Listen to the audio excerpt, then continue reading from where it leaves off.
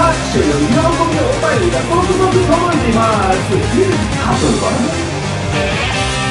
先日うちのワイフと些細なことで喧嘩になっちまったんだこのままじゃ家庭がひどいって今年の冬は季節を見ないそこらには自慢の金時計を7人でこのあの恩をプレゼントしたしかし妻は僕の金時計に合うプラチナの鎖を買うために彼女が大切にしていたガンプラバトルシミュレーターを売ってしまったんだ結局僕らが送り合ったものは無駄になってしまったしかし、二人の愛を再確認することが、これどうもお便り間違えてます。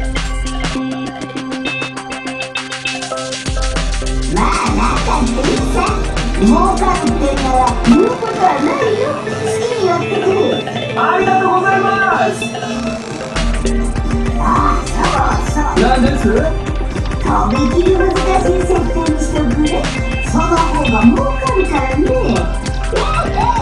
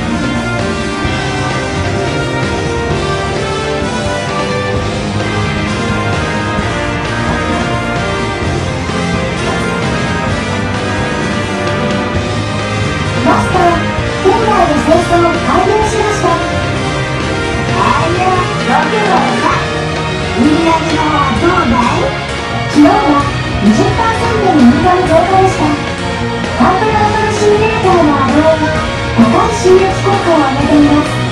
おおあの兄ちゃん嘘つきじゃなかったねあの男性はどなただったのですか私のデータベースには登録されていませんでしたさあ一番やってきて流行りの追加なんとかをインストールしないかって言ってね身元の定かではないのに